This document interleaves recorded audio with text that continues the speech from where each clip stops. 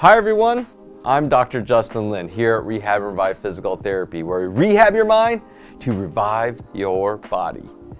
There is a viral online phenomenon out there, the Asian squat. And I know that it is sometimes a misinformation out there that only Asians can do it.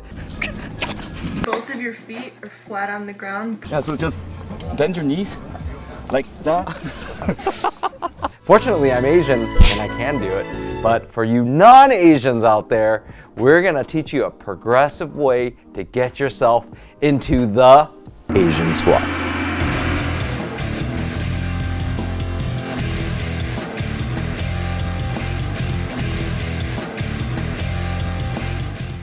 In order to properly do an Asian squat, you're gonna need components of your body to do a couple things. You need to be flexible in your ankles, hips, and knees. This exercise is targeting the knees specifically. And the important thing about getting deeper into this squat is your knee, the bottom shin bone sliding forward. So we're gonna do that with this exercise we call boogie boarding. Stay tuned. So let's actually show an Asian squat and get right to it. So a lot of times, I'm gonna show you, of course, I can just get right into it. And here, you know, back in the day, you've seen some of my friends, they just sit there and smoke their cigarette.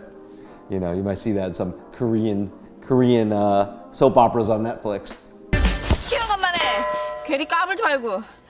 Yeah, this is how it happens. A lot of times you have to be able to get your knees a little bit more forward. So you can keep your heel flat and your knees actually have to go forward. So what does that take? It actually takes a little bit more opening here at the knee capsule or the knee, knee joint. Uh, so we're gonna get into the exercise. It's gonna show you how to progressively get down into this better and better and better. You're gonna need a handy bath towel. Now what we can do with this bath towel is we can roll it in varying degrees. Ideally, in the beginning, a lot of you who have knee joint compression issues are gonna need this right here. It's gonna be thicker.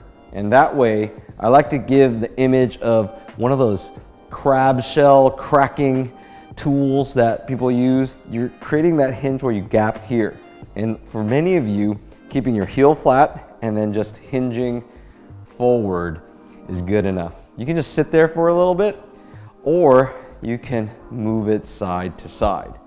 Now, if you feel a little stretch, for me, I feel it a little bit here right now you can work into it. Pressure on, pressure off, pressure on, pressure off, pressure on, pressure off. So what we're gonna do next is then we're gonna make it the fold a little less. And we're gonna progress right into it here. So now this thickness is smaller and we're gonna get deeper into it again. Good. So I can do that, I can do that. And I'm trying to actually with my hands push it forward a little bit just to give it a little fulcrum. You know, I can work into it, out of it, work into it, out of it, work into it, out of it. Okay, then I wanna make it thinner. Here, and this is getting looser, like I'm able to progressively get into this in seconds or minutes for some of you. Good, and then down to the very thin one. Should be able to do more and more and more. Now, once you've got to this point, it's probably worth doing it on the ground so you can use the ground reaction forces. So we're gonna hold that here and we're just going to pretend we're on this boogie board. And so you want, if you're having issues going one way, you work into it. So I'm having issues going that way. This way, easy. This way, a little bit more tougher.